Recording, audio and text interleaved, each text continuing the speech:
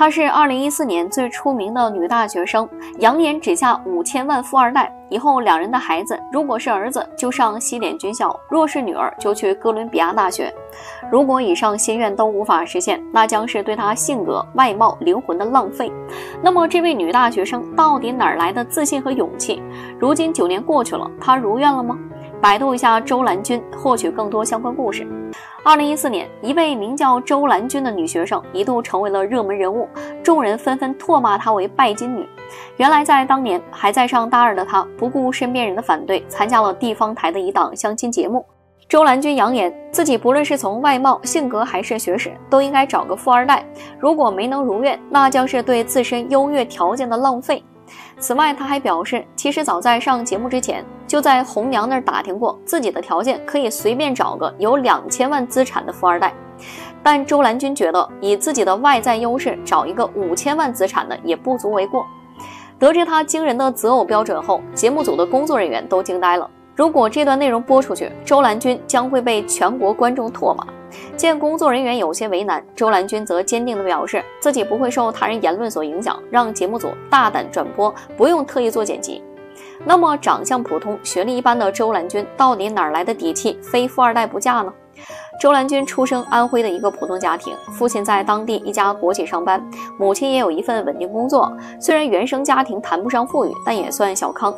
周兰君从小学习成绩就十分优异，是学校里的三好学生。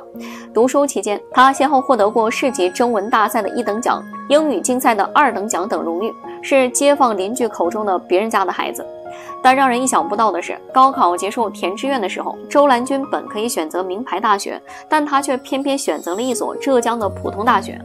当被问及原因时，她坦诚地表示：“听说浙江经济发达，富商多，在这里读书遇到富二代的几率就会变大，所以周兰君宁愿放弃其他地区的二幺幺大学，也要来到浙江读书。”听到这里，相信大部分的人都会有这样的疑问：既然原生家庭也不差，周兰君年纪轻轻的，为何就有嫁给富二代的志向了呢？原来早在上幼儿园的时候，因为父母没钱给老师好处费，所以周兰君经常被老师穿小鞋。这是他第一次感受到了自己与有钱人的差距，所以从那个时候开始，周兰君就立志做一个有钱人。如果无法实现，那就直接嫁给富二代。如今离他上节目已经有九年时间了，周兰君的愿望实现了吗？非五千万富二代不嫁的周兰君，在二零一四年的相亲节目上，先后遇到了三位相亲对象。第一位刘某确实是资产上亿的富二代，但他并不喜欢周兰君，觉得他思想有问题。第二位相亲对象名为皮皮鲁，不仅家里有钱，还是一个白白净净的大帅哥。周兰君对他十分满意，还没等聊上几句，两个人就因为意见不合产生了分歧。想做豪门儿媳，那你会琴棋书画吗？对此，周兰君则回应：虽然现在自己还不会，但以后嫁入豪门后就可以学。随后，两个人又因各类问题发生争执，没办法，皮皮鲁只好以有事为由离开节目。